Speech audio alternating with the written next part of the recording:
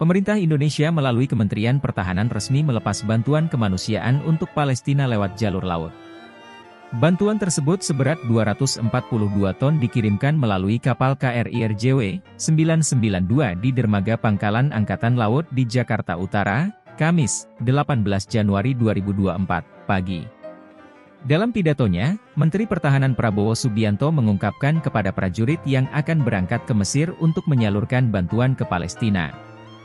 Bahwa tugas tersebut merupakan tugas kemanusiaan. Menhan Prabowo mengungkapkan atas nama pemerintah dirinya menyampaikan ucapan selamat bertugas untuk Tentara Nasional Indonesia Angkatan Laut, TNI AL. Ia menegaskan bahwa Indonesia bukan negara yang terlibat perang. Tetapi memiliki solidaritas dan tanggung jawab kemanusiaan dengan warga Palestina. Untuk itu saudara harus waspada, harus kompak. Saya yakin dan percaya Komandan Satgas dan kapal akan memimpin dengan sebaik-baiknya, kata Prabowo. Tak hanya itu ia juga percaya dengan pelatihan dan kedisiplinan yang telah terlatih.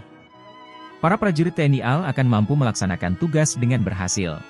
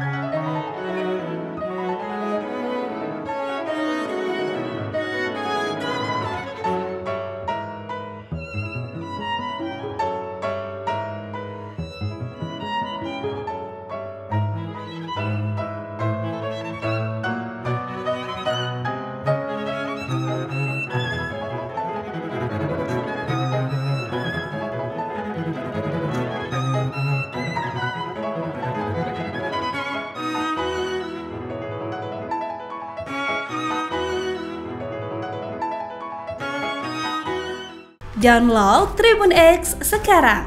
Menghadirkan lokal menjadi Indonesia.